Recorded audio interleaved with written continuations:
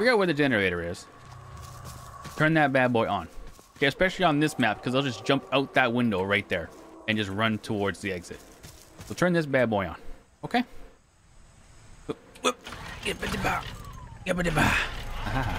Then you want to put a trap right in front of it. They do this all the time 24-7. If it's fully white, just ignore that. That's a glitch. just, just keep holding it. There we go. Because now they have to get a bone knife to destroy that.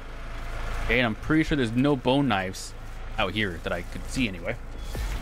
Then you want to make your way all the way to the back. So I tried to very quickly put a trap at the fuse box, but my team is good enough inside that they're not really worried about it.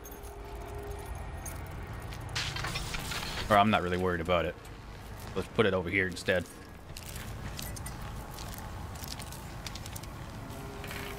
Somebody round Okay. here